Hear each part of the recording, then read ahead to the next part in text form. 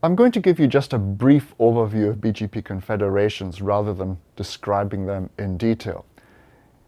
This will be useful background knowledge as there's still network operators today who are using BGP confederations, even though the route reflector is the BGP scaling technique of choice as far as IBGP goes. Now what a confederation is, is really taking the local autonomous system and dividing it into several sub-autonomous systems. So we still have eBGP working between the local AS and the rest of the internet, but we now also have eBGP between these sub-autonomous systems. But that eBGP has some IBGP behaviors, and of course, IBGP information is also kept as well. For example, the next hop is preserved across the sub-autonomous systems, local preferences and MEDs are preserved as well. We don't touch the IGP, same as for route reflectors. BGP confederations are described in RFC 5065. So confederations are visible to the outside world as a single AS. So the world doesn't see anything different. Each sub-AS uses a number from the private AS range. IBGP speakers in the sub-AS are fully meshed, or indeed we could use route reflectors within the sub-AS, as some operators are doing but the total number of neighbors is reduced by limiting the full mesh requirement to be only the peers within the sub-AS. Each sub-AS eBGP peers with each other. The diagram will explain it more simply. Here we have AS200, which is what the world sees, but it's actually made up of three sub-autonomous systems, AS65530, 65531, and 65532. These three sub-ASs eBGP peer with each other, but retaining a lot of the IBGP features.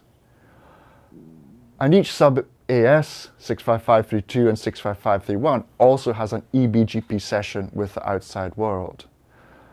So in the Cisco IOS configuration example shown, we need to indicate to the router what our real world autonomous system is, and that's called the BGP confederation identifier and we need to list which autonomous systems are Confederation AS members. So we need to list, in this case, 65530 and 65531. The router itself, router C, runs in AS65532. It doesn't run in the globally visible AS. So as you might imagine, migrating from a full mesh IBGP setup to using BGP confederations is quite a considerable task. BGP on each and every router has to be moved out of AS200, in this case, to one of the sub-AS autonomous systems. So it is a major effort and can be highly disruptive for the network when the operator makes this change. If we look at the route propagation decisions within a confederations, they're the same as with normal BGP. From peer in the same sub-AS, it only goes to external peers. From external peers, it goes to all neighbors. External peers refers to peers outside the confederation, as well as peers in a different sub-AS as well. And peers in a different sub-AS, we preserve the local pref, med, and next hop. Indeed, this interesting eBGP behavior within a confederation is referred to by some operators as eIBGP, even though it isn't really defined. If you look at the BGP table, confederation ASs are displayed in the AS path usually with uh, brackets or braces around the confederation autonomous system. And this identifies them separately from the global autonomous systems which may also appear in the AS path. Confederation could be useful for network operators who are absorbing other operators. For example, if one ISP buys another one, we can simply add the purchased ISP's AS into the existing confederation. It's a very simple migration. Rather than having to renumber the purchased ISP's routers into the new autonomous system.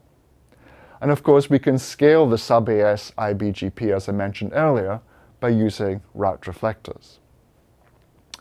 And so like route reflectors, confederations do solve the IBGP mesh scaling problem, doesn't touch packet forwarding, and we could even apply some policies to route traffic between the different sub-ASs. However, there are numerous downsides as well, and that's setting up the hierarchy of sub-autonomous systems and how they interconnect with each other. Path diversity could be an issue, and as already highlighted, the really difficult migration, as we have to reconfigure BGP almost across the entire network all at the same time. So if you're choosing whether to use route reflectors or confederations, they actually compare quite well for most features. Internet connectivity can be made anywhere in the network, they support multi-level hierarchy, and both give good policy control. Scalability for route reflectors arguably much higher than it is for confederations.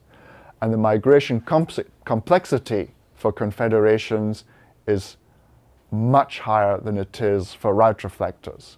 Route reflector can be deployed, as I said earlier, disruption free, but better during the maintenance period on a network, whereas a confederation needs planning for a notable outage for the network while BGP is configured on all the affected routers. And indeed, in my experience, most new network operators today are deploying route reflectors right from the start.